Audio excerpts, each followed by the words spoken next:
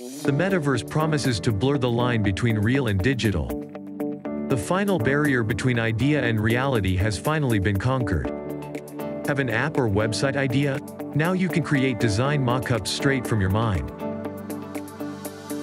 All you need to do is visualize your product hard enough, and there you have it, from idea, straight into mockup. Even a fully interactive prototype.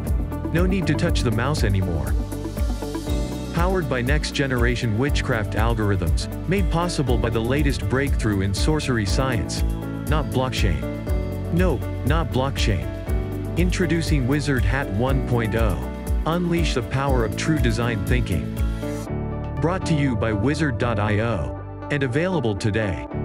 It's called Uizard with a U because it's for designing user interfaces. Okay?